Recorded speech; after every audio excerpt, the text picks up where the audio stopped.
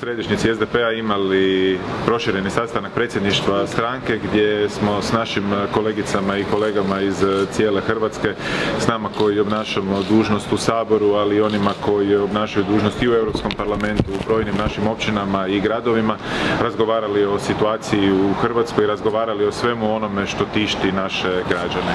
I ne treba tu biti poseban politički mudrac da znaš da su dvije teme ključne. Jedna je način na koji ljudi žive, prije svega, prije svega u uvjetima ove strašne inflacije, a drugo je pitanje zaštite ljudskih prava, zaštite prava žena u Hrvatskoj. SDP je ove godine već e, dva puta predstavljao mjere borbe protiv inflacije, mjere koje bi trebale osigurati našim sugrađankama i sugrađanima e, kako preživjeti ove teške ekonomske uvjete. Nastavljamo i dalje. E, razgovarali smo o brojnim stvarima koje je moguće napraviti, razgovarali smo o tome kako vlada ne poduzima apsolutno ništa da poduzetnicima, da našim općinama i gradovima pomogne kako da e, premoste porast električne energije koji je u gospodarstvu išao 300, 400% e, gore. Naš gospodarski tim će iskoristiti ljeto kako bi već na početku jeseni mogli pripremiti, odnosno predložiti i predstaviti javnosti treći paket mjera borbe protiv e, inflacije. Nažalost, vlada je zaspala na onom prvom.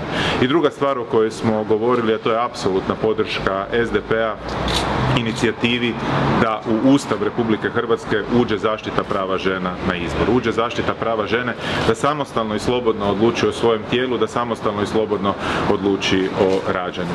To je nešto što nam je izuzetno bitno i bez obzira na ekonomsku situaciju, mi kao politička stranka nećemo nikome dopustiti da činjenicu da se u Hrvatskoj pogoršava ekonomske okolnosti iskoristi kao alibi za to da se bilo kome u našem društvu umanjuju njegova ljudska prava. Da pače, upravo sada kada je teško moramo pokazati svoju snagu i spremnost da se borimo da krug ljudskih prava u Hrvatskoj bude veći. Jer, da se ne zavaravamo, jedno od temeljnih ljudskih prava je i normalno živjeti. Živjeti od svojeg rada, živjeti od svoje plaće, pobrinuti se kako da ona bude dostupna svakome u ovoj zemlji da normalno i dostojanstveno živi.